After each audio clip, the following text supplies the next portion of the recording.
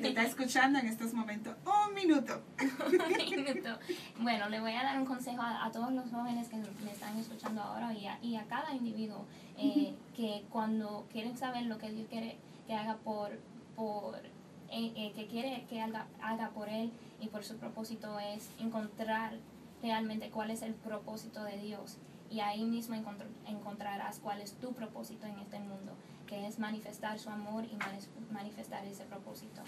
Y con eso los dejo. Así es.